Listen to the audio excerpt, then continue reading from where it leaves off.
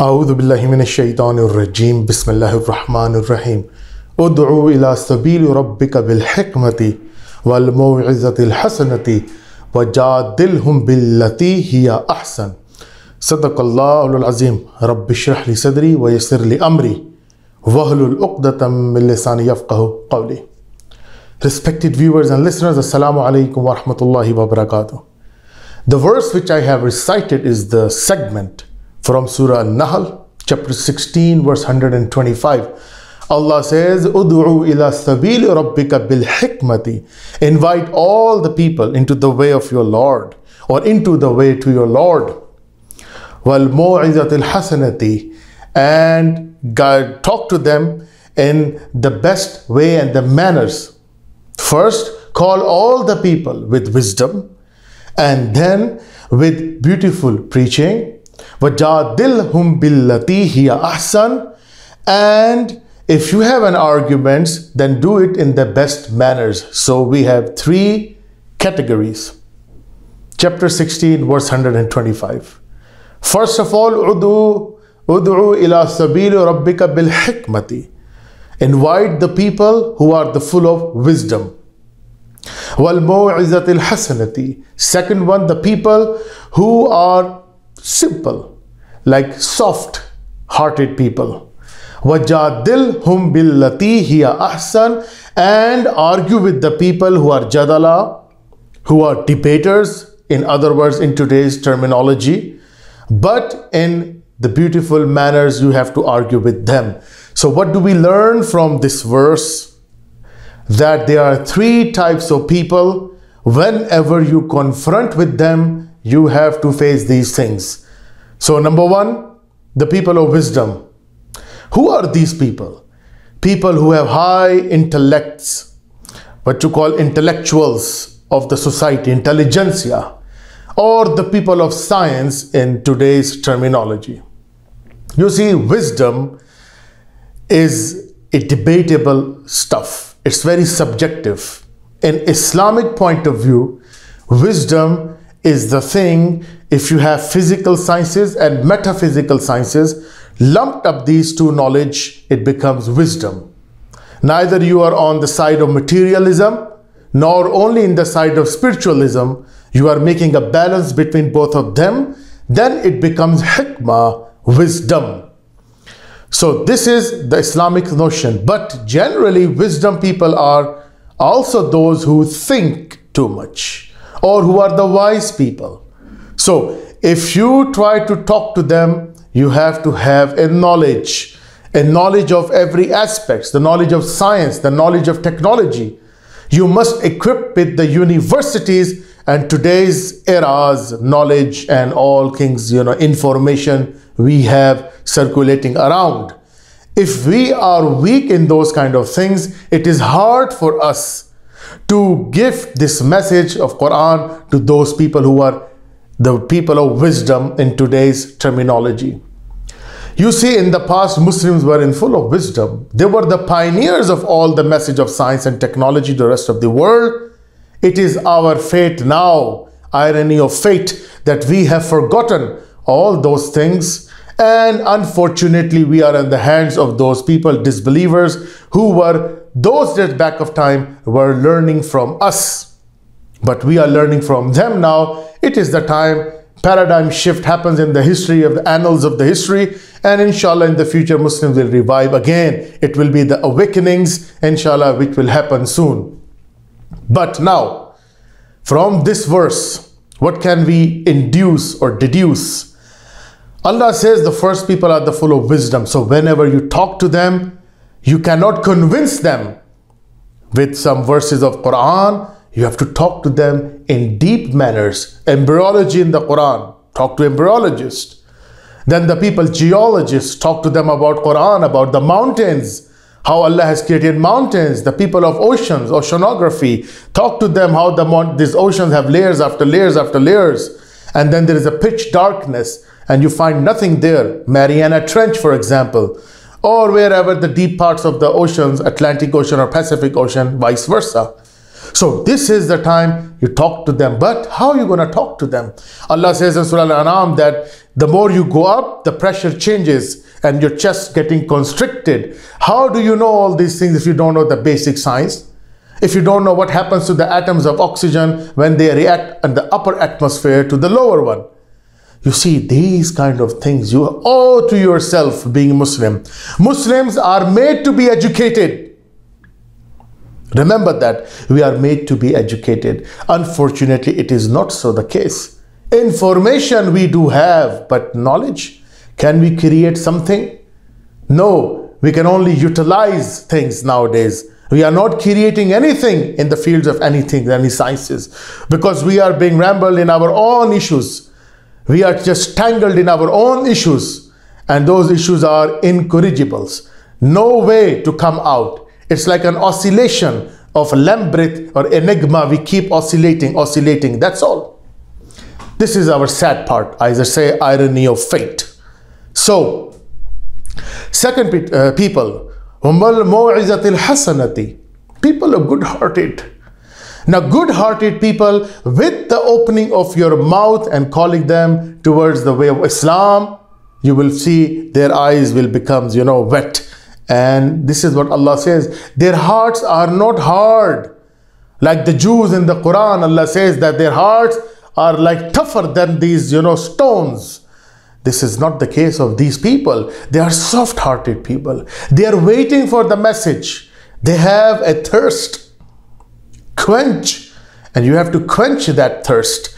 And if we are not doing so, we are failing on our duty. This is our duty to do all these things but unfortunately we are not. This verse in Surah uh, Al-Nahl is the proof that what Allah is expecting from us to deliver the message to these three categories in the world. Number one, the people of wisdom. Then number two, I already discussed, good-hearted people. You convey the message of Islam, Allah will open their chests and then the message will go inside it. But you have to make the first step. First step you owe to yourself. O Muslims, the second and the third step, then Allah will take care of that. But Allah is looking at you and He doesn't need you. Trust me, Allah doesn't need you. You see, in the Bible, these Jews, they were all the time putting back Jesus Christ and telling them before Abraham, you were not there, Abraham, Prophet Abraham, and they did not understand the message.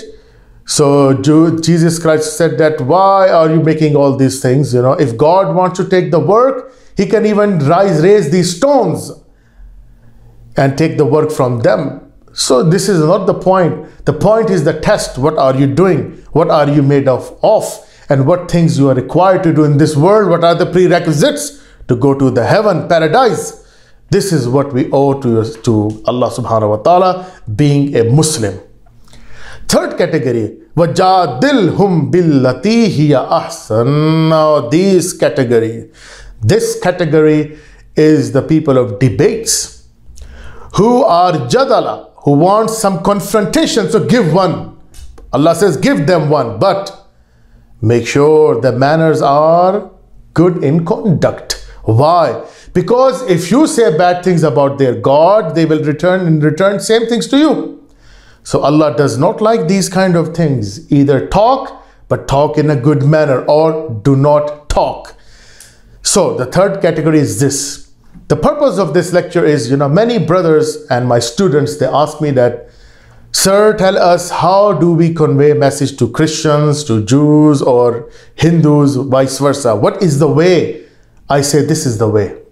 See, if the guy is full of wisdom, you cannot convince him through these verses of Quran because these are a touch of spiritualism.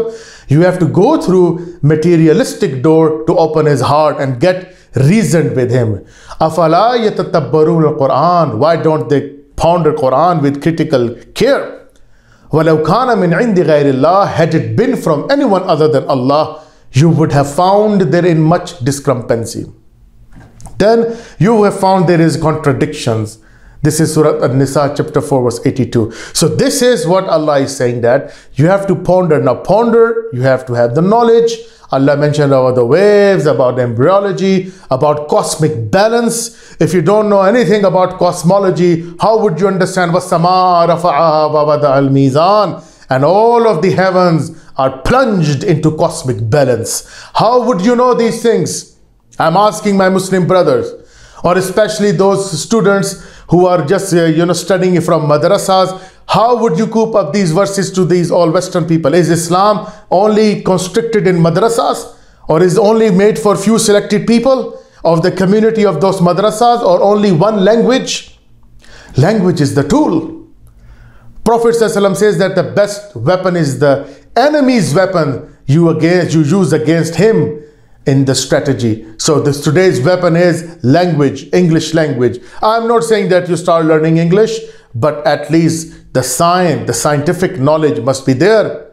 No background knowledge of science. I'm not criticizing anyone. Please mark my words. I sit to ulamas myself. I love those people and I'm from the community. I'm not the person who just speak like one man show. So we do everything under the umbrella of ulamas, alhamdulillah. But where is the problem? You have to say. You cannot keep quiet and see things.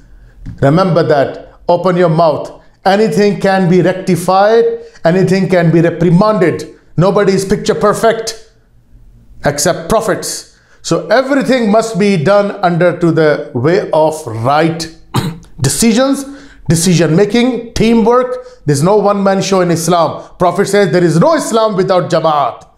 There is no Islam. Remember that. Islam comes with congregation. Islam comes with the people. And together Islamic Ummah rose and together Islamic Ummah will rise. This is what we owe to ourselves. So, debates.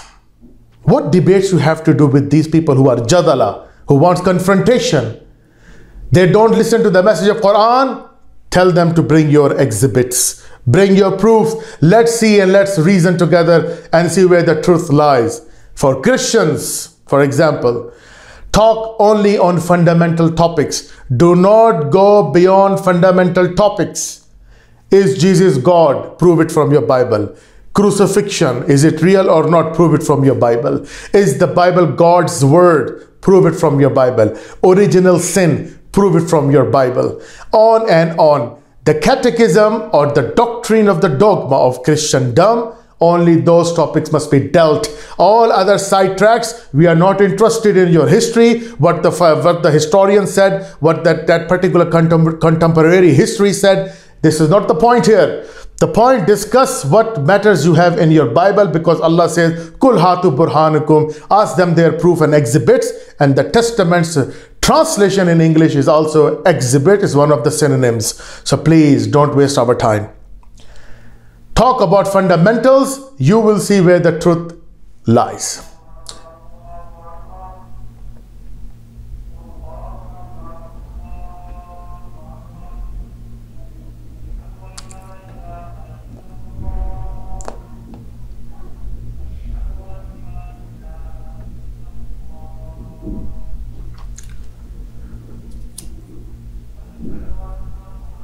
صلى الله عليه وسلم. اللهم صل على سيدنا محمد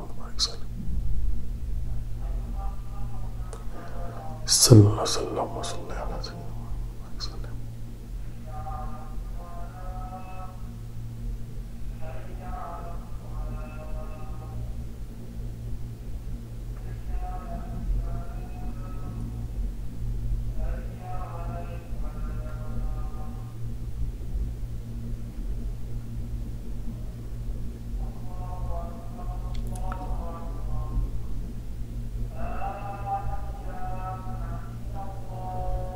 أشهد أن لا إله إلا الله أشهد أن محمدا عبده ورسوله اللهم إني أسألك العفو والعافية في الدنيا والآخرة اللهم إني أسألك العفو والعافية اللهم إني أسألك العفو والعافية في الدنيا والآخرة You see, for 1400 years, Adhan, the proclamation calling towards prayer, has been going on. For 1400 years, there is no religion on earth.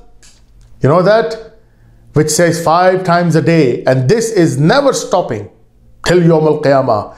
Every part of the world, eastern hemisphere to the western hemisphere, northern or southern, you see all this world is plunging into some kind of time zones, and the time zones making Allah too, like for continuously the azan going on everywhere. It's not stopping. If something here is an Asr time, some in the part of the world is Maghrib time, then some part of the world is Fajr time. And all these time frames, subhanAllah, it is divided in the way that it's never ending. And this is what Islam, this is prophesied in the Bible, that the last religion will be praised all over the world. This will be proclamation of the last Prophet Muhammad meaning the praised one.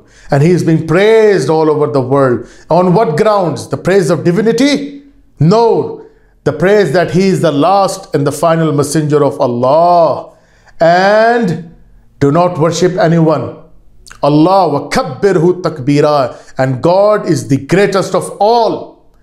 So do not try to just inter intervene anything or associate anything with him in his omniscience, omnipresence, and omnipotence. This is what Islam. 1400 years, I said there is no religion on earth which can do like this. The miracle, the transformation, as Jesus Christ said that. That a little lemon lemoneth the whole if the little amount of yeast does not does not ferment the loaf, something wrong with your yeast, something wrong with your loaf. Do men gather grapes from thorns and thistles? A good tree will reap the good fruit, and the evil tree will reap the evil fruit. So judge the nation by whole.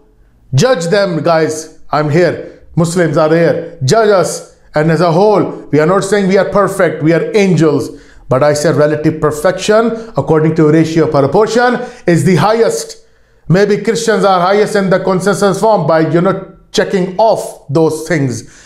But in practicing you cannot show us a single candle or single you know finger to us that you are better than us in morality in sobriety in piety in brotherhood in charity in hygiene nothing. Anyways coming to the point. So how would you debate them only fundamental topics. Hinduism fundamental topics. What is your doctrine and aqidah? Don't talk extra with us. Talk to the pertaining that's all. And other religions i don't think so. They will like to confront you. Jews are hiding under those trees oxythoron trees. Like you know as the prophet says that gharqad they will grow gharqad because it will protect them. You know on the last of the days when they know that it's written in their magazine to armageddon sorry this yeah magazine by uh, philadelphia trumpet and they mention this armstrong's family that you know our time gonna be very end soon because of the Jews and all these things are happening and they know that what their destination is. They know very well about themselves. So as Prophet says, the time will come, even the stone will cry that the Jew is hiding behind me. I get him and get him and there will be no scot-free. There will be no ansar, those helpers and savior, etc when this thing will come, they know very well. So, confront you will mostly find with Protestants, Christians, and the best ways talk about fundamentals. You will see that their you know ground will be taken away under their feet, and they will trip and fall with all proclamations of Holy Spirit inside them. Fundamentals, I say. And uh, my challenge is open from my platform to any Christian I don't go for VIPism. I don't go for those credentials. I say bring any Christian who is dare to talk to the fundamentals of Christianity. I don't want to talk about any other things. Don't try to turn the tables because you're helpless. You apologetics, you started this apology from the dawn of the Christianity. Islam has nothing to apologize. Whatever Islam says, it says on the rock foundation of everything concrete foundation and you cannot shake any pillar of Islam. I'm telling you with your logic, with your understanding. Yes, fools. You can keep barking against day and night and you can try to just show people that, oh, you see, I find faults in Islam. And well, you say apparently you find faults in Islam, but trust me, logically, rationally, you know that Christianity is not right. You know in your heart, every pastor knows that Christianity is not true. You know in your hearts, but what would you do? Those donations, those politics, those, you know, what you call uh, papacy going on for thousands of years. How would you convince those people who died? I'm asking this. So that's why it's not hard. I can understand. I have full empathy as well as sympathy for you guys. I go pity on you, but on the grounds of rationalism, you know that Christianity has no grounds. Talk about Trinity, you'll never be able to explain till now. Talk about divinity of Christ, you just start, you know, fumbling, fumbling here and there, oscillation. Talk about original sin, you don't know where it originated from. Start about is the Bible is God word full of contradictions after contradictions, you not be able to prove it. Nothing. On and on, I said. For example, then original sin, Jesus God, is the Bible God's word, Trinity, crucifixion. The crux of the matter, the most fundamental point in Christianity, crucifixion. You know that crucifixion, the exhibits are not matching with one another. You know that. Your pastor knows it. The critics of Bible knows. But what would you do? As I always say, if you remove, Paul says, if Christ has not risen from the dead, our preaching is vain, our religion is vain. Meaning you have nothing to do if you are unable to prove that Jesus Christ really was resurrected. If you can't prove it, your game is finished. You see, every religion try to sell the point. Come to Islam. Islam has no ambiguity. Your Bible says that God is not the author of confusion, but droves after droves Christianity are getting in confusion. And they are plunging into the psychological issues, we call it cognitive dissonance. Cognitive is the mental ability of human beings, how they behave to the particular notions. If this to go, if this thing go beyond understanding, rationalism, you just plunge into dissonance, confusion. So somehow you try to convince yourself inner deep figments okay fine this is what it is now uh, that's all i'm i'm gonna follow that this is what you call cognitive dissonance islam has no place for that islam is clear from the beginning there is one god and he's sending his representatives on this planet whosoever follow the guidance and that particular representative he's going to heaven you pay for your own price but god is very big to forgive you. Keep coming again, again. He's going to keep forgiving you. It's a relative perfection. He doesn't want you to become angels. He wants you to be to do sin, but also repent. Some sins, if you do with your fellow brethren, you kill him, you try to do something bad, you have to pay the price in this dunya. But for hereafter, Allah knows that He's gonna forgive you or not. But if you die in the state of associating partners with God, calling his, his creature that he is the creator or associating partner with any means, there is no forgiveness for you. And this is the main notion from the beginning, from Adam salam till the Prophet Muhammad, peace upon him. What confusion in there? What is the rocket science is there? Rocket science is this when you try to say that Jesus was God and he came down to this earth and still you do not understand what Trinity is. واخر دعوانا ان الحمد لله رب العالمين